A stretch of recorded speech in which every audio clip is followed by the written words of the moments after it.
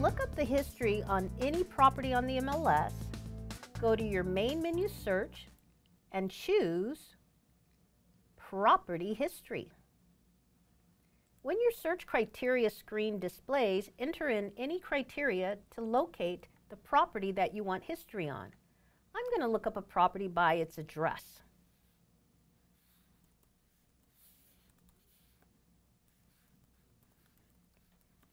After typing in the criteria, click your Count button, and if that property has any history, you will get a number.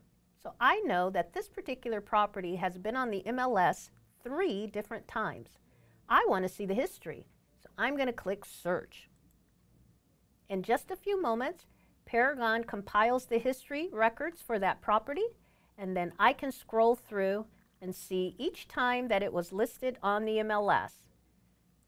I have the MLS number and then the detailed history for that particular listing. Here was the second time it was listed, and I get detailed history, and then the third time it was listed, and the detailed history. Isn't that great? And now you know.